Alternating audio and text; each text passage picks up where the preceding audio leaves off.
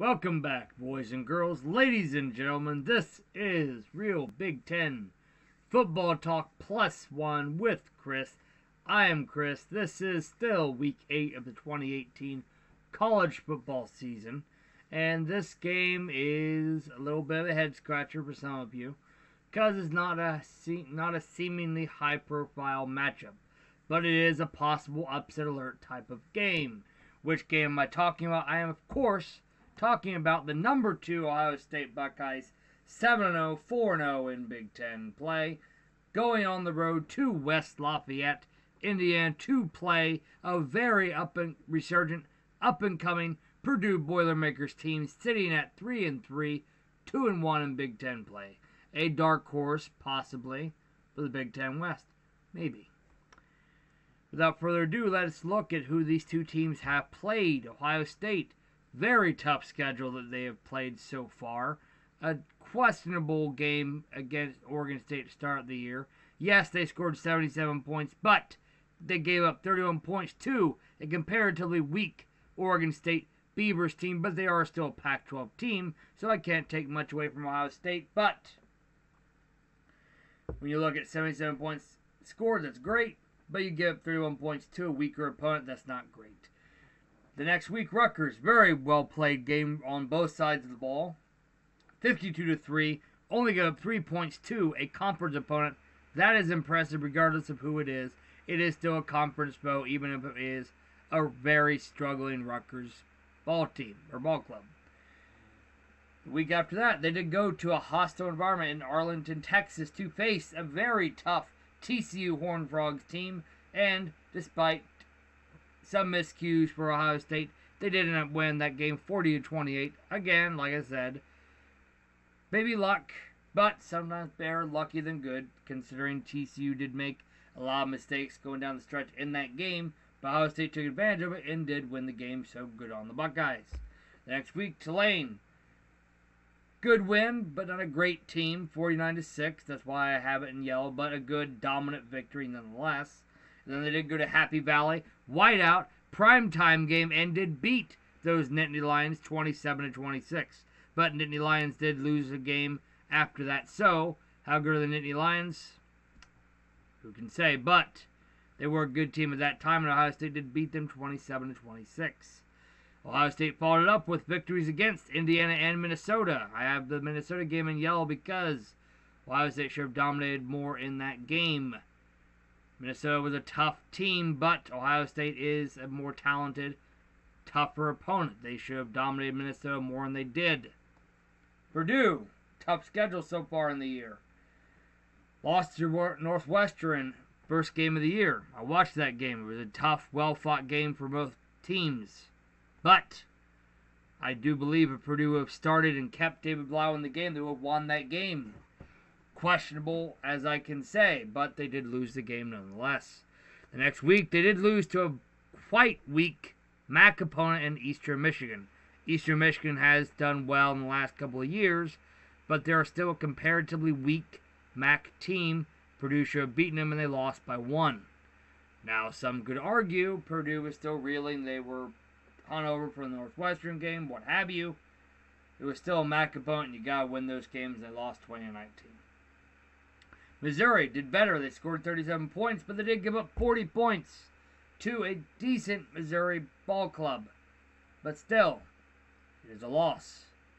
That next week, what did Purdue do? They ended up beating number 23, Boston College, in West Lafayette. But still, a good quality win that I will go over more in depth here in a minute in their marquee win segment of this show. Then they followed up with two road wins against Nebraska and Illinois. In fact, they smashed Illinois. That same Illinois team that gave USF everything they could handle earlier in the year. A good victory in Champaign. And a good victory in Lincoln against Nebraska, a Nebraska team that is desperate for a win, and a lot of people, including myself, thought that Nebraska might have gotten that victory against this Purdue Boilermakers team in Lincoln. That did not happen good win for Purdue. Now let's look and see more in depth at that Purdue win against Boston College. Boston College was dominated on every aspect of that game. The only bad part that Purdue really had was they only had 17 first downs and 76 rushing yards. Didn't need them considering David Blough played almost perfect 21 28 passing, three touchdowns, zero picks. Very well played game for Purdue. They held the Golden Eagles of Boston College to 229 total yards. Four picks this Purdue Boilermakers grabbed from that Boston College quarterback. They held the Golden Eagles to 144 yards through the air, 85 on the ground. They held that team to 25% third down efficiency. Very dominant win for Purdue. And and also, Purdue did hold onto the ball for 37 minutes and 2 seconds. That is 37 minutes and 2 seconds that Boston College defense was on the field. Very well played game for Purdue. Only two penalties in that game for Purdue for 25 yards. Boston College, seven penalties for 60 yards. Really, I don't really need to say much more about this game. Purdue dominated on both sides of the ball. Very well played game for Purdue. Ohio State, always go back to that Penn State game for their marquee win of the year thus far. But the Buckeyes did not play well in this game. They won. They won through grit, determination, because they sure didn't win on the stat sheet. 23.5% third down efficiency, 119 yards on the ground, 389 total offensive yards for the Buckeyes, 10 penalties they racked up for 105 yards. Ohio State had going for them. They only turned the ball over once. It's good. But they did give up 492 total yards of offense to that Penn State Nittany Lion team. Why did, Penn, why did Penn State lose, might you ask? They couldn't convert on third down. That's why they lost. I watched this game as well. This was not a well played game on either team on third down efficiency. Seemed like when both teams had third down, they considered punting the ball because they knew they couldn't get it on third down. It was a bad game on that respect. But a tough team, a tough game for two tough teams, but it was a good victory for Ohio State. A tough, battle testing, gut wrenching, gut check of a win for Ohio State. How these two teams played against each other the last five. Last time these two teams played was in 2013. The number at that time, the number four ranked Ohio State Buckeyes crushed Purdue in West Lafayette, 56 to nothing. What happened the next year, 2012? I meant to correct that, my mistake. That was Ohio State beating Purdue 29-22 in overtime. Was not Purdue playing themselves. You're not imagining things. I am not insane. I just forgot to put that in there. I apologize. But that was Ohio State beating Purdue 29-22 in overtime in 2012. 2011, Purdue shocked the Buckeyes 26-23 in overtime in West Lafayette. 2010, Ohio State did smash that Boilermaker team again, this time in Columbus, 49 to nothing. In 2009, that was Purdue beating Ohio State 26 to 18, a very shocking fashion, considering Ohio State was number seven ranked at that time. As you can see, this is not oh Purdue can't win type of game. Purdue has beaten this Ohio State team in the past. They just haven't played each other in years. How both teams done against the run? Not very well, and not very well for the run. In fact, both teams ranked 58th and 51st, respectively, nationally in running the ball, football. Purdue 179.3 yards per game. Ohio State 185.4 yards per game. Both teams have done poor, not poorly, but not great against the run either. 148 yards given up on average for Ohio State. It's 55th nationally. Purdue have given up on average 146.8 yards per game nationally, ranks 53rd. Not great. Passing is where both these teams excel. Ohio State 73.3% completion percentage. That is first by a large margin nationally. Passing per game, Ohio State is almost an air raid offense with those numbers. 371.4 yards per game as third nationally. Boys and girls, you want to guess who's first and second? That's right, you guessed it, Texas Tech and Washington State. Of course, I don't know which one is ranked which, but you can imagine. Ohio State is not an air raid offense, but they play like one. Purdue, 330.8 yards per game, that's seventh nationally. David Blough has done very well to rekindle that Purdue offense, which was very strong, just struggled a lot for the first three games of the year. Both teams let the quarterbacks get hit a little bit too often. Ohio State's given up 11 sacks per year, or 11 sacks this year, which is 35th nationally. Purdue has allowed David Blough to be put on his back with the ball in his hand 12 times this year. That is 61st nationally. Neither team does great against the pass. In fact, Purdue does an awful job defending the pass, considering Purdue has given up 267.5 yards per game on average through the air. That is 108th nationally. Purdue got to stop somebody through the air. Ohio State's given up 221.6 yards per game. That is 59th nationally. Again, Buckeyes got to stop somebody through the air. Defensive or offensive efficiency tells the story. Well, they both are pretty, pretty even in time of possession. Ohio State, though, does own the field position, starting field position for their offense, starting at their own 34 on average, whereas Purdue starts consistently on the wrong side of their own 30. Not great, not horrible at their own 29 on average. Third down efficiency, both teams do well. At the 49%, Ohio State is 12th nationally, whereas Purdue is 45.6% per game. That is 25th nationally. Not bad. Ohio State has only turned the ball over six times this year. That's an average of less than one per game. Pretty good. Purdue has turned the ball over nine times this year. It's almost two per game. That is a warning sign. Ohio State, atrocious inside the 20. They are only scoring touchdowns 68.7% of the time. 81.3% they score on average inside the 20. That's 88th nationally. Purdue, horrible at scoring touchdowns inside the red zone, considering they are at 54.8% per game. They do have scored inside the 20 though 90.3% of the time, which is 27th nationally. But Purdue, you gotta stop settling for three points so much. You need to score more touchdowns inside the 20. Ohio State, awful penalties per game at commit at on average committing eight per game. You're giving up 74.4 penalty yards per game. Ohio State, very horrible. Purdue, you were bad at this as well earlier in the year, but you have done a better job of cleaning that up. But you are still, on average, committing 6.6 penalties per game for 65 yards. Again, warning sign going forward. Got to be careful when you're playing a tough team like Ohio State.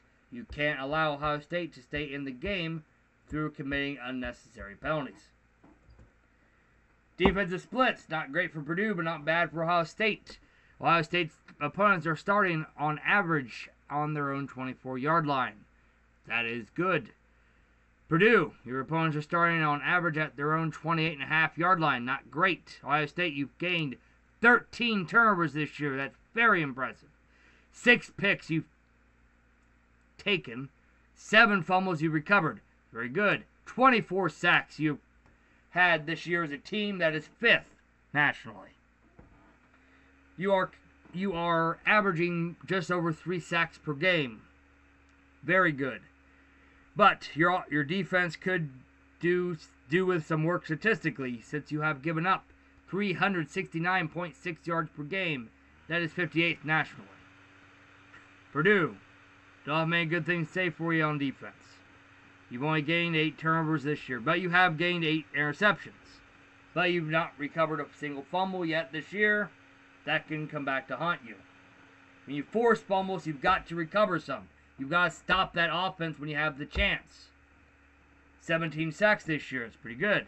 30th nationally. You're going to have to increase that number to beat this Ohio State team in this game. Defensively, horrible for you, Purdue. You've given up on average 414.3 yards per game of defense. That's 92nd nationally. Got to clean that up going forward. Neat little tidbits. Both teams haven't played each other since 2013, as I already mentioned. Ohio State did win that affair, 56 to nothing, in West Lafayette. Both teams have played each other off and on since 1919. Ohio State did win that inaugural matchup, 20 to nothing in Columbus.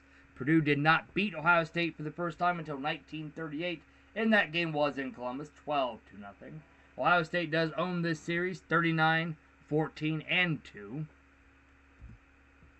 Key to the game for Ohio State, you have to convert on third down to keep your high powered offense on the field. You have to play a clean game, reduce the penalties, and you also have to play four quarters of solid football, not two. I've noticed most of the year. You have played poorly in the first half and you made second half adjustments, and that's why you're undefeated Ohio State. Against this very hungry, resurgent, winning, recently winning team of Purdue, you've got to play four solid quarters. And you've got to start hot. Shut down that Purdue team early. Don't give them any hope. The worst thing you can do for a highly favored team as you are Ohio State is to give that lesser opponent hope. You cannot do that. You have to score quickly and often to shut this Purdue team down early, psychologically. You have to extend drives through good solid running with good passes to keep the Purdue defense honest. To hit David Blough and force him into making crucial mistakes. For Purdue, you're at home. You're riding a three game a three game winning streak. And you've done well in those three games. You've got to use that to come out of the gates hot. You got to hold on to the momentum through extending drives, through converting on third down. Keep the Ohio State offense on the field or off the field. Keep Dwayne Haskins being cold on the sideline. Purdue, you've got to score six inside the 20. You can't settle for three all the time and expect to win these high profile games. You've got to get six points inside the 20, not so much three all the time. Considering you may not get many opportunities inside the 20, you got to make the best of them through getting touchdowns versus field goals. You have to give David Blough time to throw. He's a good quarterback, but you have to give him some time to throw. And on the flip side, you have to hit Dwayne Haskins, force him outside of the pocket, where he has been uncomfortable with the ball in his hands. If you've watched Penn State, you'll understand. In that first half, he looked very scared because Penn State kept hitting him in the mouth. Purdue, you've got to do that. You've got to make your own second half adjustments and come out in the second half hot as well because you're facing a very good second half team in Ohio State. If the game is close at the end of the first half, Purdue, you might have some problems. And who to pick? On paper, the rankings. Purdue's three and three. they lost to Eastern Michigan. Ohio State beat TCU. They beat Penn State. Dominated the Rutgers. Hammered Oregon State. Beat a decent Indiana team. Beat a very decent Minnesota team. The Ohio State team is a good, solid bunch, but they've had their mistakes, They're miscues. They're young. Purdue is a veteran led team with a good coach. And Purdue has done a better job as of late to not beat themselves through committing too many penalties. You're at home. Williams will be with you. You're on a three game winning streak. You dominated that Boston College team. Ohio State, you didn't dominate Penn State, you found a way to win. But how are you going to do Ohio State when you're going up against a weaker opponent? Psychologically, when that weaker opponent gets a lead on you. Now, you've had deficits earlier in the year with Minnesota in particular. But Minnesota is a tough team, a rebuilding team, but a solid ball club with good coaching. And they've been consistently a good team. Purdue's not been a consistently good team, but they're a scrappy bunch this year. Craving a win. Craving a high profile victory. Because what's something Purdue has lacked in recent years. They haven't been able to win against the big bruisers of the Big Ten. This year will be different. Ohio State have been saying most of the year you commit far too many penalties. That will come back to bite you. Also, you rely far too much on a young quarterback. A good, very good young quarterback in Dwayne Haskins. But you rely too much on the pass. You've got to rely a little bit more on the run. You get away from the run too often. Too early, too often, I should say. I do believe in this game it's going to come back to bite you. When you can't get anything going on the ground against this Purdue team, when you go to the air too much, you're going to pay for it. You're going to commit the wrong penalty at the wrong time to allow Purdue to score a touchdown, and you're going to give up the win to this Purdue team in West Lafayette. It's going to be the biggest win Purdue has had since that shocker in 2011 when this Purdue team did beat this Buckeye team in overtime. This game could go into overtime, could go into double or triple overtime.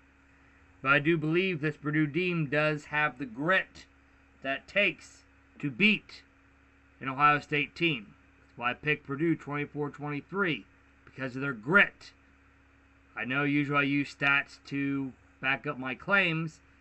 This particular game is a little different. It's different because, despite the stats, despite the tougher schedule for Ohio State, Ohio State has struggled against weaker opponents in the past anyway. So look at last year. They beat they no sooner beat Penn State and then got their tails blown off by Iowa the next week to a not a bad Iowa team, but pretty mediocre. Run of the mill Iowa team. This Purdue team is similar, and they could do the same thing. And if they do, it's going to be a head scratcher of a loss. They don't probably haunt Ohio State going into the end of the year. But I do believe Ohio State will taste defeat this week to a resurgent, tough, gritty, scrappy Purdue Boilermaker team. That's it. I made my pick. May come back to haunt me. You all might say next week you're an idiot. Why the heck did you pick Purdue, you fool? But I did pick Purdue. I've said it, and I will stand by it. Enjoy the rest of the games this week. Please do like, subscribe, share this video with your friends if you do enjoy my content. Again, it does help the channel grow. If you did not like this video, please hit that dislike button and let me know why you didn't like this video. Was it because I picked the Purdue Boilermakers over your beloved Buckeyes? Please let me know. Me know why you disagreed with me or why you just dislike my video. Enjoy the games this weekend, and I have enjoyed this thus far, and I plan on doing more throughout the rest of the year. Until next time, guys, enjoy.